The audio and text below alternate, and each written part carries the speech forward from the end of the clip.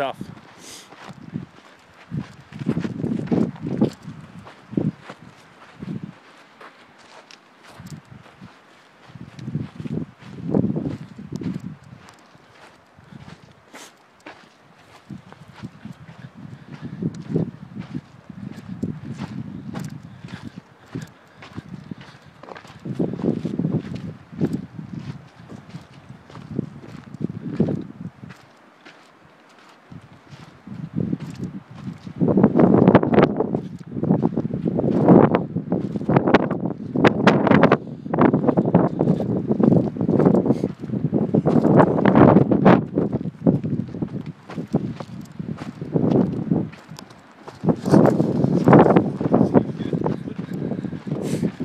No, it's too sharp if you cut, cut your feet up.